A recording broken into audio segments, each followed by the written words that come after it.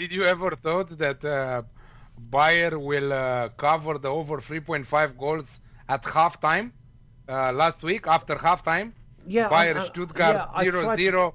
You thought about No, I it? try, no, I try to stay balanced and not get ahead of myself because the likes of Bayern, the likes of Real Madrid, the likes of uh, who else can do it? Uh, Inter Milan, they score for or AC Milan, they score three goals in like eight minutes because they all of a sudden they just grow before your very eyes and become a different side. It's always that first goal. As soon as they get that first goal, it all goes. The big one for me was that Stuttgart didn't score.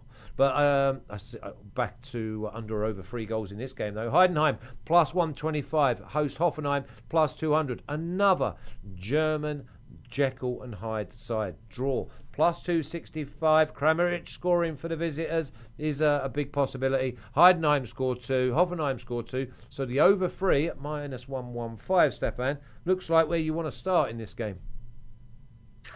It's where I would start and probably where I would end as well, to be perfectly honest with you. Um, Heid- Heiden, Heidenheim have um, struggled for form recently. Uh, they've lost lost two of the last games.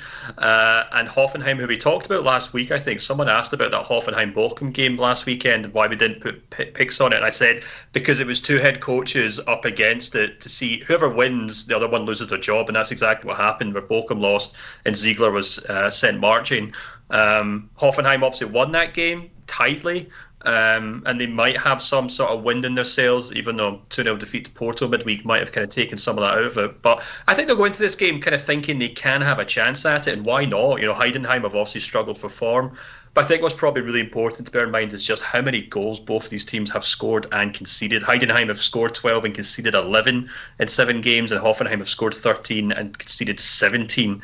Uh, so we're talking about two teams here who don't have any kind of coherent plan in attack or defence.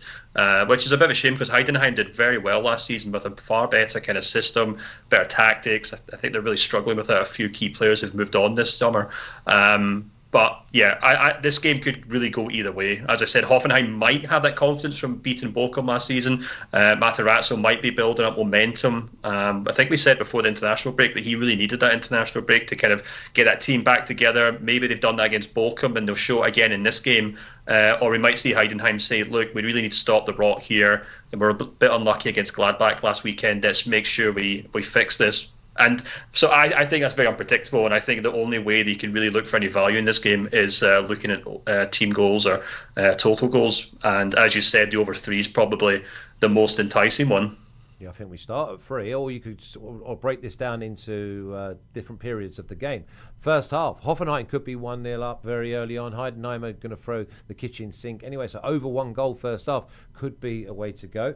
Uh, I do like Kramaric. I think that he is starting to find himself in the right areas now because he got away from being an out and out goal scorer to thinking he was then the assist merchant, uh, which is no good for his centre forward when you need him in the width for the goals in the opposing box. Heidenheim are going to give him chances. I think he scores, and funnily enough, as I was saying that, Mitch was then saying, yeah, Kramaric, anytime goal scorer, plus 200, Alex.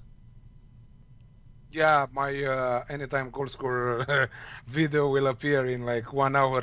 It's filmed and ready for edit.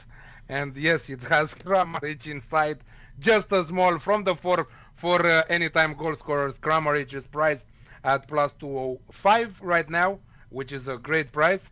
Um, and uh, yeah, I think that uh, Heidenheim will have a shot here after uh, Hoffenheim played a decent game against Porto.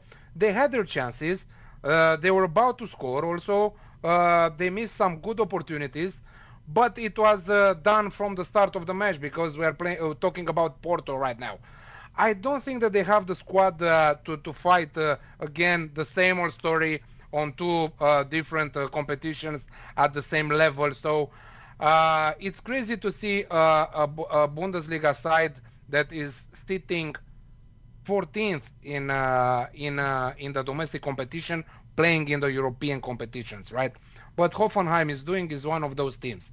Heidenheim, yes, uh, uh, four games uh, out of five, four four defeats out of five games. I think that uh, they are expecting uh, a good uh, bounce back match this one, and um, you are spot on, both of you, with the over, and I'm going with the over three at minus 115. and I think that we can also go um, for because I, I'm expecting goals early in the game. We can also go for over 1.5 goals at halftime at plus 130. I don't know. I have this feeling.